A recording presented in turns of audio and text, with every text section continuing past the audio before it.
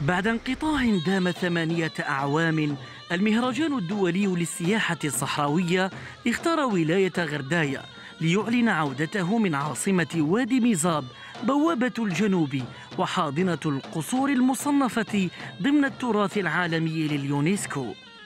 لا يفوتني أن أتوجه بعبارات الشكر والعرفان لساكنة غرداية وأهاليها الميامين على حفاوة الاستقبال الذين أبوا إلا أن يكونوا فعلا أساسا في إنجاح هذه التظاهرة الدولية.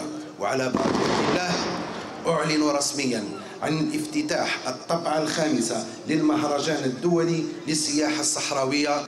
إن السياحة الصحراوية في بلادنا رغم قدمها تتطلب عناية خاصة واستغلالا جيدا من حيث ترقية ومرافقة القائمين عليها لما يمكنهم من الوصول بها إلى المستوى المنشود.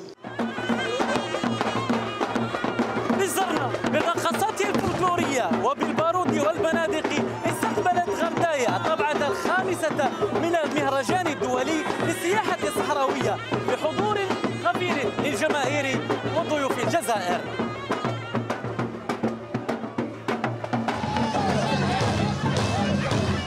روعة الفانتازيا خطفت الأنظار. تنسج الأيدي والأرجل رقصاتها على إيقاع طلقات البارود.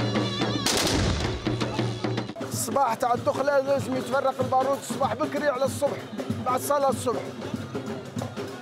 يتفرق البارود.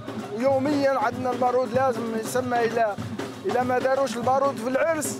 معناتها كل طعام بلا ملح. إرث ميزابي عتيق حافظت عليه الأجيال تزين بلوحة فنية لونت برمال الصحراء امتطى فيها الفرسان الجمال والخيول الأصيلة. لحظات تجلى فيها الزخم الثقافي الذي جعل الأجانب يعشقون تغرديت. ينتابك الحماس وأنت تسمع كل هذه الأصوات والموسيقى وتشاهد كل هذه المنتوجات الحرفية والتقليدية. من الرائع الحفاظ على هذا الإرث الثقافي وإظهاره للعالم.